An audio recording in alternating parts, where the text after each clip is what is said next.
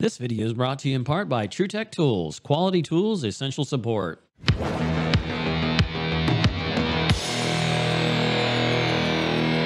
right, guys. So we're working on a little cool uh, freezer here. Here, let's get in here and see what we got going on. So what's happening is the evaporator here is freezing up and dripping on the sides. I think what it's doing is going in too long of a defrost. I am wondering if by chance we don't have a defrost termination switch that's hooked up or working properly. So we're gonna do get in here and see if it has one, which we do have one. You can see it right there.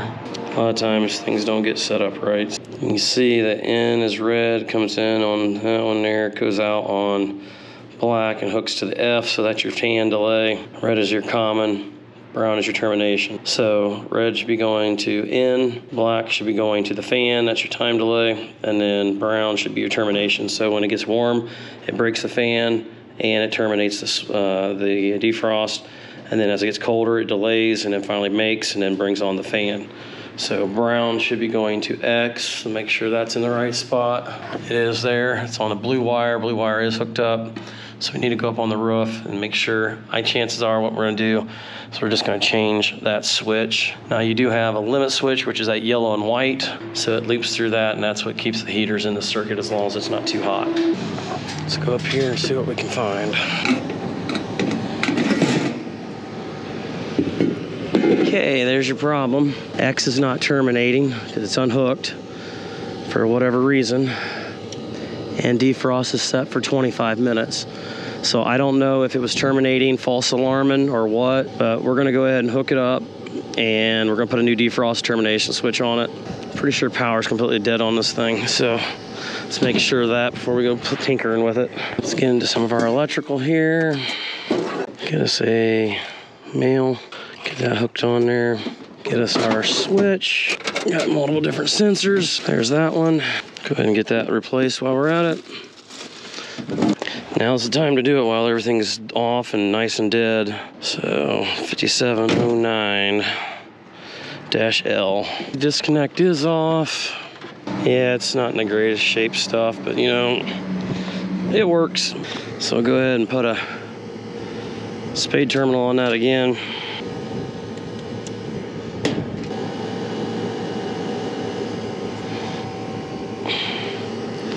There we go. Like I said, we'll cut up here on X.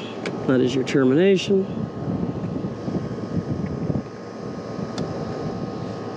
Now we could take it up a little higher. We can go to 30, which is where most time it's at. Let it terminate a little bit on its own from that point. Let's go ahead, let's go down below. Okay, this should be pretty simple. Let's go ahead and grab this out of here. Take that one out. One out. So there we got the screws out. There's the control. Got a wire tied in there. Go ahead and rip that off.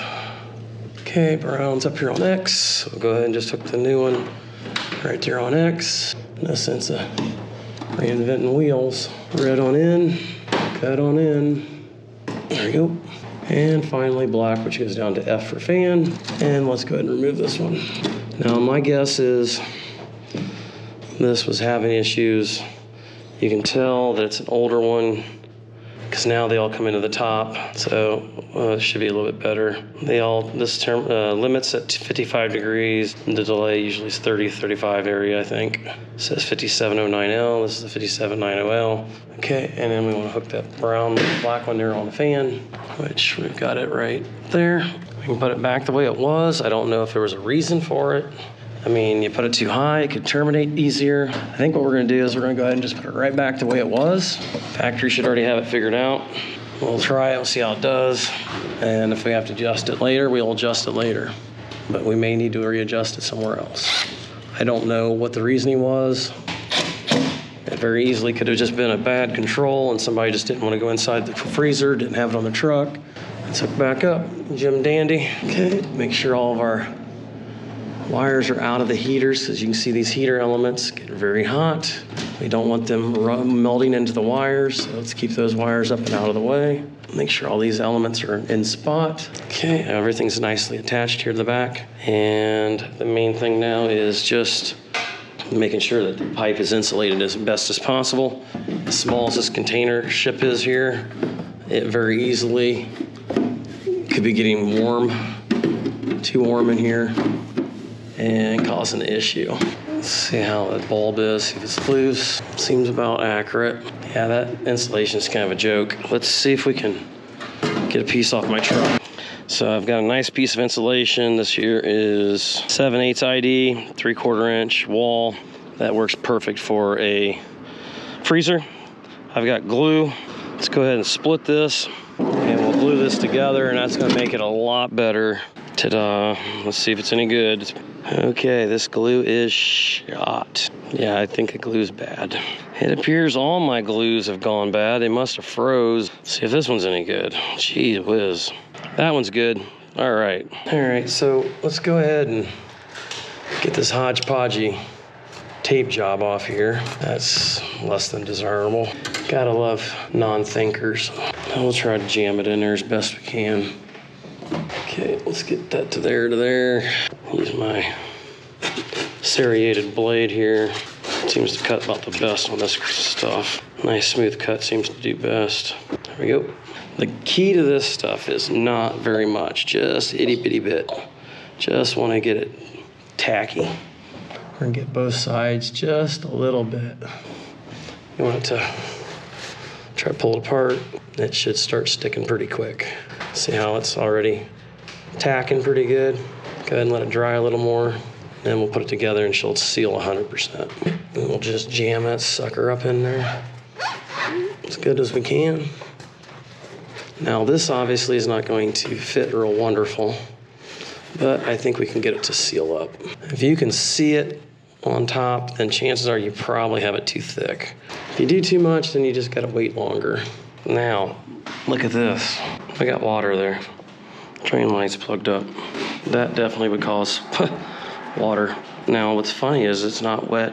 Not a bunch of it's back here in the back, which are dry right here. And then a little plastic bag like that, that don't help. So we're all dry back in here. I bet you anything, we're not level. Drain comes out here and let's go ahead and blow it out, see what happens. I mean, you've got some drainage already. See if we can maybe dislodge anything that might be slowing it down. But like I said, it's not level in that pan. The infiltration you got there from that freaking thing, that's a joke. All right, let's see how we are on the ceiling. Yeah, we're not not level on the ceiling. We're hanging to the left. That's it's real good. And the ceiling's kind of round too. Nice. It's half-ass level. The ceiling slopes down like this and like that. I, even if I duct tape this sucker on, it'd look better than this garbage. And this, for the most part, is no insulation. Yep, that's gonna be a little difficult. If it was solid and we could go on through, that'd be the greatest way of doing it. This was supposed to be a startup, not all this. Normally I'll do like 23 degree angles or something, I think, something like that. Just a little bit, which that's too much. Right there is what you want, just damp but not showing. There we go, now we're getting, we're getting there. That's not coming undone. We'll go ahead and form it around like a snake and get it in the rest of the way. I'm gonna do some cheap, cheesy way of doing it, but it's better than I think the way it was going to be. You can make fun of me if you want. I think it kind of sucks. I'm not happy with it. We're gonna form it together as best we can, but compared to the rest of this monstrosity you got out here, I don't think it's really gonna matter. What sucks is everybody in their drive-through brother is gonna come through here and see this. That's the only thing I don't like. You can see the water blew out, so the drain's open. I'm not seeing any bolts coming up through the ceiling, so we might be able to lower that down and put some washers in there. You can see we're actually high on the left. See, there's what would happen if we go higher. So what we need to actually, we'd lower it, that would bring it down.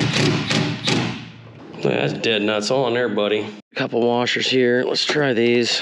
Do two, two each. Give us about an eighth of an inch. That's all they got, little legs. All right, there we go, two washers. Hopefully I didn't make it worse. Looks dead balls on to me. Just a, about a 16th more on the right, but I don't want to take it too low. We're leaning this way now if you go with that flow. And we should be leaning this way on that one, or at least level. And far as front to back,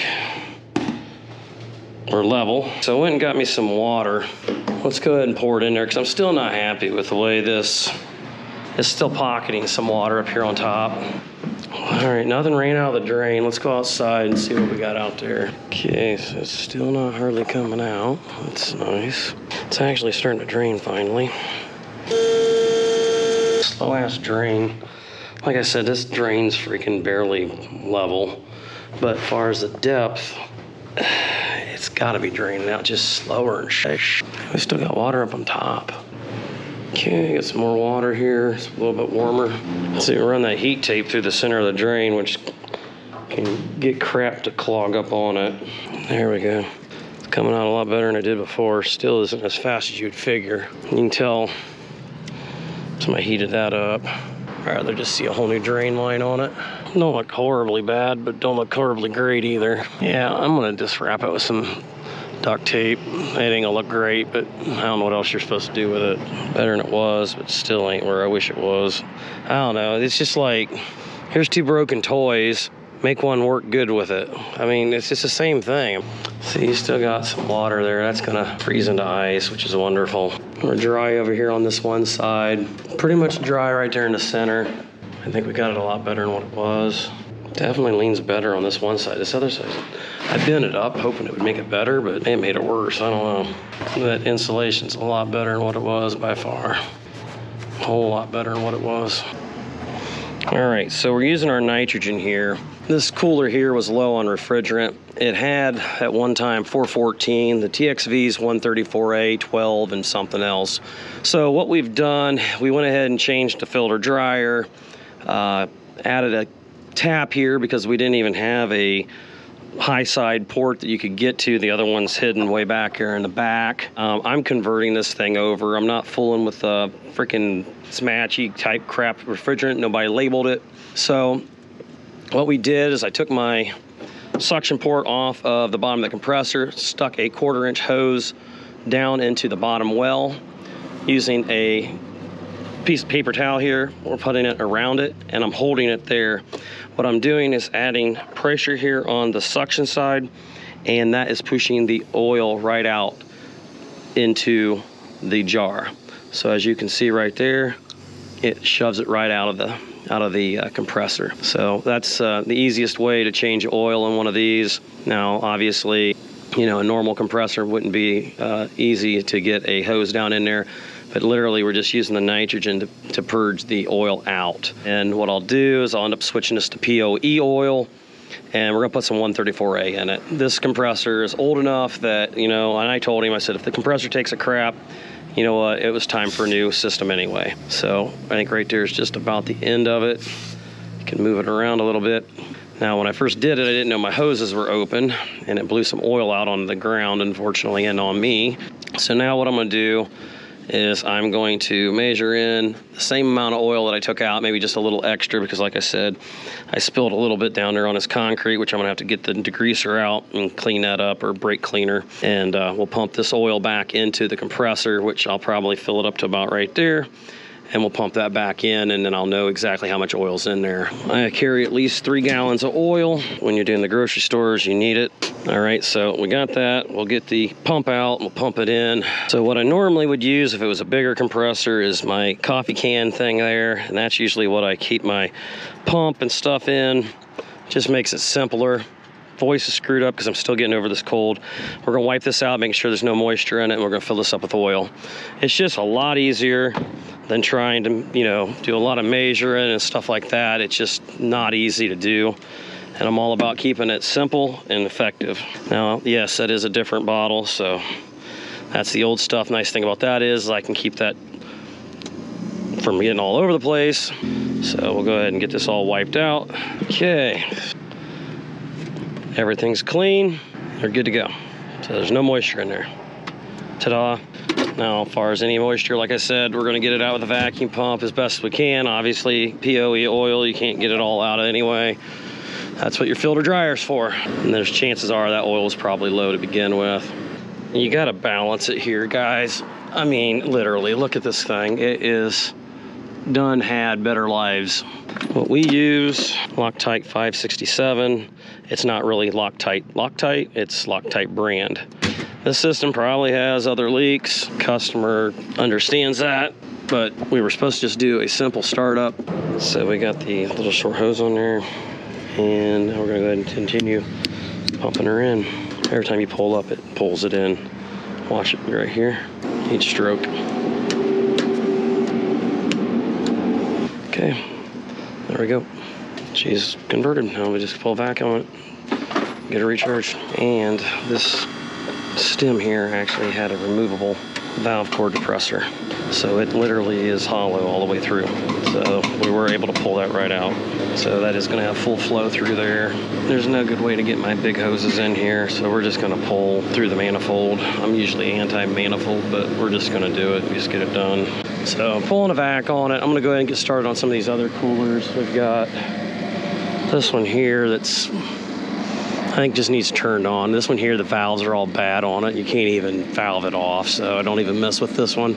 The freezer should be froze down. Added some duct tape to this. I think the way I like it, but man, there's only so much I can do.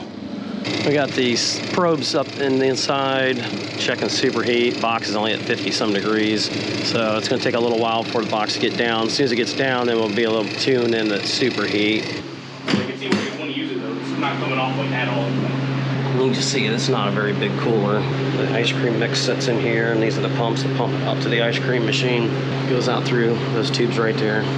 With such a short run, theoretically, you're supposed to have at least 20 to 25 degrees superheat at the compressor so that you have plenty of leeway. And generally, the superheat at the compressor overruns the, overrides the TXV's superheat because you want to protect the compressor. And such a short run, there's really not a whole lot of heat to be gained between here and the compressor. Must have had my phone set wrong or something because we got 134A out here, and according to this, I've got no superheat at all. So you're gonna need to go back in there and cut back on that. Yep, I accidentally left on R22. Let's switch it to 134A.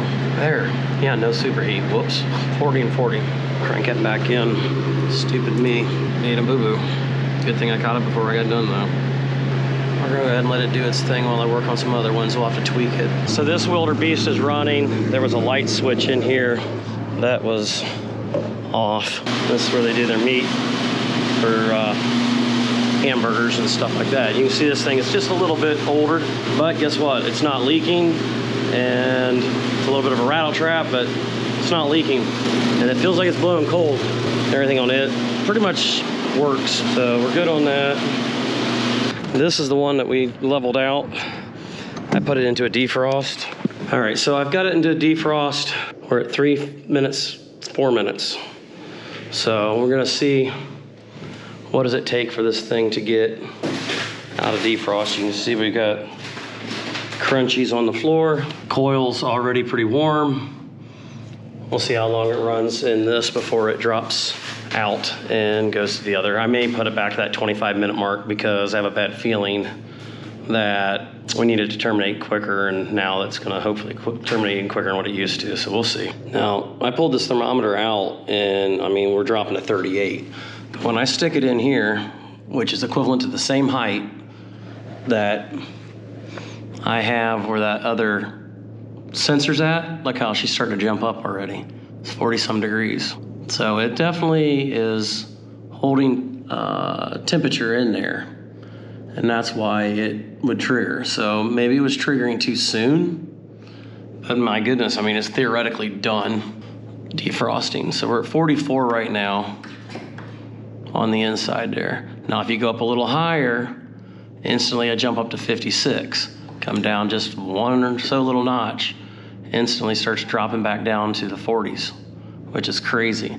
But heat rises, and that's what you can do is you can raise that you can move that switch all over the place. If you want to sit here and watch it and see where things are at, which you shouldn't have to do that, but if you got weirdo issues where people are leaving doors open, you freeze up too often, whatever the case, these are things that are good to know so that you can use it for later to try to figure out how to deal with that situation. But like I said, right there at that height where that switch is at, we're at 46, almost 47. If I just tilt it up a little bit, instantly jumps up to 40, uh, 51 degrees, 54. So she's gonna trigger here real quick right now, eight minutes and 59 seconds.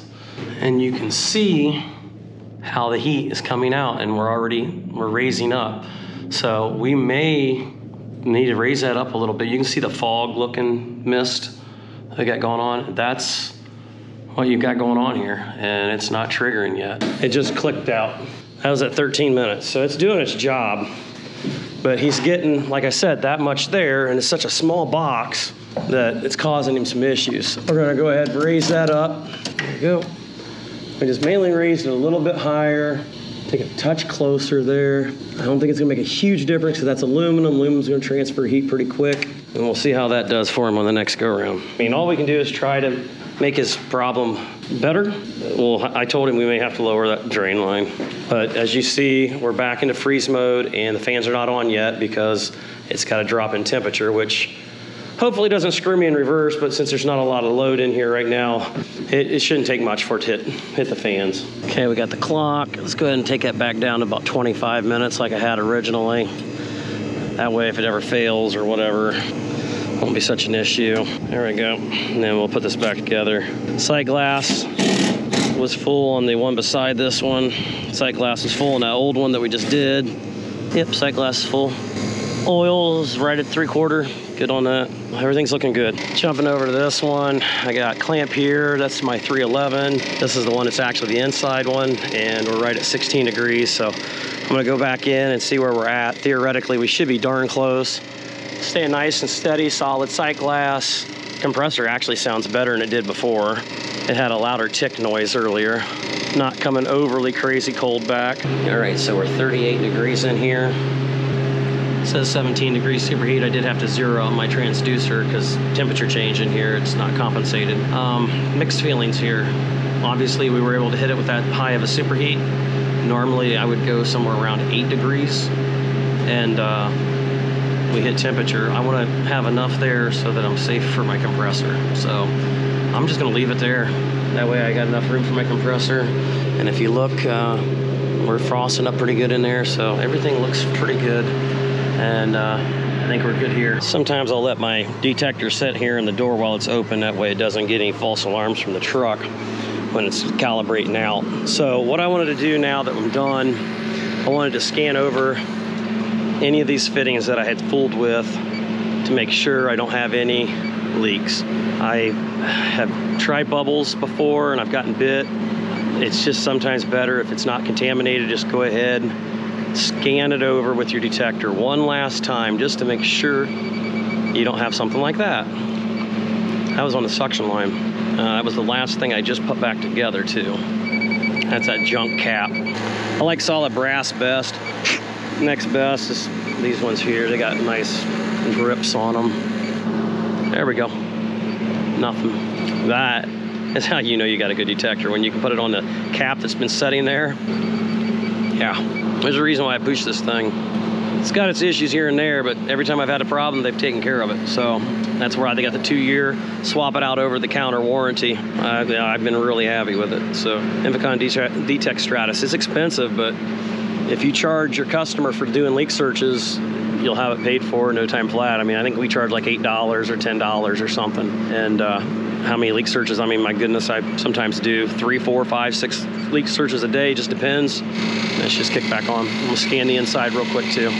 That usually stays open. They literally just plug in there. It's, yeah, whatever. Here's your low ambient control. You can close the door when, uh, when it gets too cold. Let's get that cap back on there turned everything off and warmed it up with a torch to get all that frost off of it, and it's not going off now. I wonder if that cap was off, was causing it, because literally, I put that on there. See, I start playing with that already. No, it's not it. I don't know. I think it's one of these dark fittings right there, unfortunately. But now I've got another call I gotta go run, so I ain't got time to mess with it now. Usually come out some fresher air, come back into it. It's not huge, but definitely, I mean, I went off on super mode, which is where I use it at most of the time. It's probably the slow leak they've got.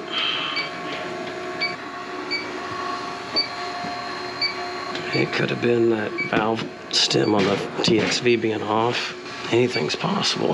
I think at this point we're just gonna have to come back. If uh, if it goes low, we'll spend more time on it. All right, guys. So that's gonna wrap that one up.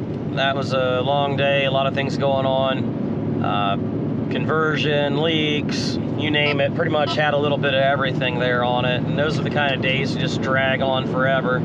So now I'm gonna go run a new cooling call. It's 64 degrees outside and this office has got a zone system, which is a disaster. Never works right and um, doesn't have the economizer hooked up like it was supposed to. So they just got fan cycling. So we're gonna go ahead to that one, but I'm not gonna show you it because it's just, it's the EB Kajibis there. If you guys enjoyed this video and you wanna see more like it, click that subscribe button. Make sure you click the notification bell so that you get notified when the new one releases. And until next time, we'll catch you on the next one. Later.